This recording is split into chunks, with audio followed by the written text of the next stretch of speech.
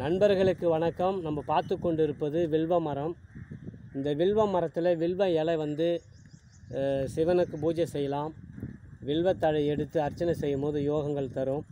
இந்த வில்வ மரத்தில் ஏகப்பட்ட தெய்வ சக்தியும் அமோனிச சக்தியும் இருக்குது. இந்த வில்வ இலையில் அர்ச்சனை செய்யலாம். மருத்துவ பயணம் இருக்கிறது ஆன்மீக பயணம் இருக்குது.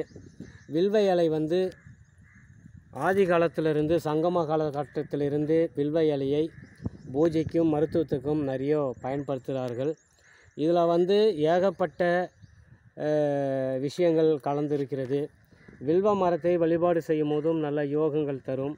வில்வ மரம் ஒரு இயற்கையினுடைய இறைவனால் படைக்கப்பட்ட பொக்குஷம்.